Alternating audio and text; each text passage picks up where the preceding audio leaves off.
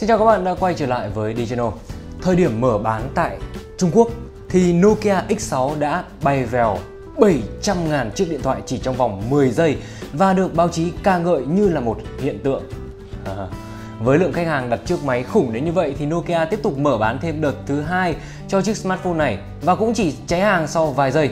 Như vậy là có thể đủ để thấy sức ảnh hưởng của Nokia X6 là cực kỳ hot đúng không ạ? Có thể Nokia X6 là một cột mốc lớn của Nokia. Đây là lần đầu tiên Nokia cho ra mắt một chiếc smartphone tai thỏ chạy theo trào lưu đang rất phổ biến của smartphone 2018. Và với mức giá chỉ 205 USD, vâng rất rẻ và sự kiện ra mắt rầm rộ được tổ chức tại à, Bắc Kinh thì Nokia X6 cũng là sản phẩm mang tính tuyên ngôn của Nokia rằng là cái thương hiệu smartphone kỳ cựu này đã rất sẵn sàng để tham gia vào cuộc đua giá rẻ với những đối thủ sừng sỏ khác như là Xiaomi, Huawei hay là Oppo.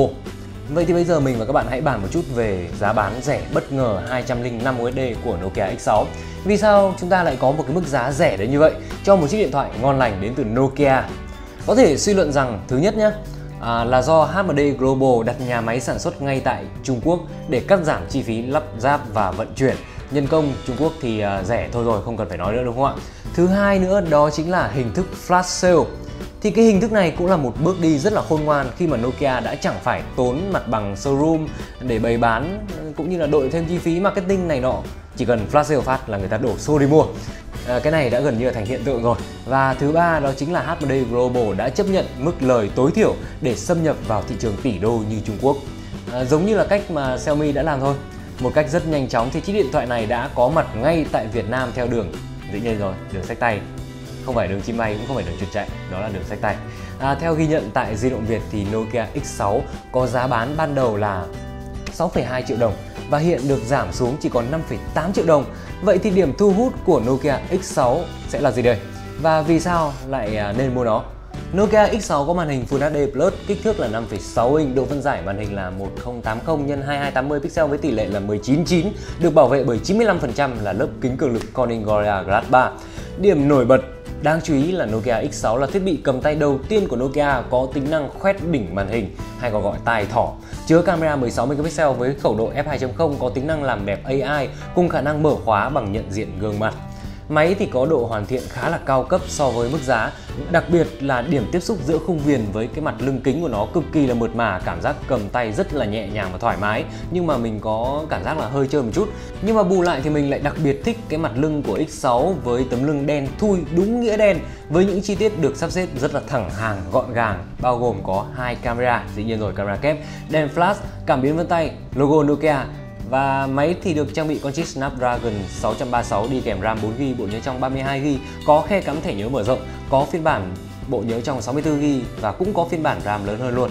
Nokia X6 sẽ chạy Android 8.1 nhưng không còn là Android gốc như những người anh em gần đây mà được tùy biến một chút xíu để thêm nhiều tính năng thông minh thú vị ví dụ như là cái gesture, cái cử chỉ ấy, để có thể ẩn đi ba phím điều hướng thay bằng cử chỉ vuốt à, rồi thì à, double tap tay thỏ để tắt màn hình à, vuốt từ dưới lên để tìm kiếm nhanh vuốt trên cảm biến vân tay để mở nhanh thông báo vân vân và vân vân. Nhưng mà thú vị nhất đó là tính năng nhận diện thông minh. À, các bạn sẽ chỉ cần ấn và giữ trên màn hình bằng hai ngón tay thì máy sẽ tách các từ trong đoạn chữ cái ra để cho bạn dễ chọn lựa sao chép copy tìm kiếm hơn à, tiếp theo nữa đó là camera kép phía sau của Nokia X6 sẽ bao gồm một camera chính 16 megapixel và một camera phụ 5 megapixel để đo khoảng cách hỗ trợ chụp xóa phông tốt hơn Chế độ Live Bokeh cho phép ờ, tùy chỉnh mức độ xóa phông khi mà chúng ta chụp ảnh và bạn cũng có thể lấy nét lại hoặc là chỉnh sửa lại mức độ xóa phông lần nữa sau khi đã chụp xong. À, đại khái là lấy nét trước là chụp trước lấy nét sau mà. Máy thì vẫn có dual size cho phép sử dụng hai camera cùng lúc rồi thì à, chế độ Pro quen thuộc tính năng làm đẹp cho cả camera trước và sau. Ngoài ra thì Nokia cũng có thêm những sticker vui nhộn để gắn vào mặt nhưng mà vẫn còn khá là ít ỏi đấy, chỉ có ba cái mà thôi. Nhưng mà cuối cùng Máy sở hữu viên pin 3060 mAh đi kèm Quick Charge 3.0 cho phép sạc 50% trong vòng 30 phút với cổng sạc USB Type-C. Tuy nhiên thì sau một khoảng thời gian trải nghiệm thì mình cảm thấy máy khá là nóng, nhất là khi mà chúng ta chụp ảnh ấy. Còn khi chơi game thì à, vẫn rất là mát, rất là tuyệt vời. Các bạn nên à, lưu ý chi tiết này khi mà mua Nokia X6 nhé. À, nói tóm lại thì Nokia đã làm rất tốt phần này bởi vì thiết kế của X6 mang lại cho mình một cảm giác khá là đẳng cấp, không hề bị rẻ tiền chút nào. Thêm vào đó thì nhiều tính năng thú vị hứa hẹn mang lại trải nghiệm người dùng rất là tuyệt vời đấy. Theo như tuyên bố ban đầu thì Nokia X6 chỉ được phân phối nội địa chứ không có kế hoạch uh, ra ngoài thị trường quốc tế. Nhưng mà ai mà tin được chứ? Chẳng có nhà sản xuất nào lại không bán cho kẻ muốn mua cả đúng không ạ? Còn nếu mà bạn thích quá không cưỡng lại được thì hoàn toàn có thể mua luôn bản sách tay tại di động việt ngay bây giờ.